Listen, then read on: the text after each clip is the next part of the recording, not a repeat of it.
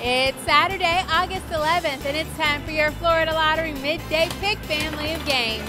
I am Tanika Gainey. Now let's play Pick 2 and Pick 3. Those Pick 2 numbers are 8 and 4. And your Pick 3 numbers are 1, 5, and 1. More than 775,000 students have been able to attend college on a Bright Future Scholarship. The Florida Lottery, just imagine. Now let's play pick four and pick five. Those pick four numbers are four, seven, one, and six.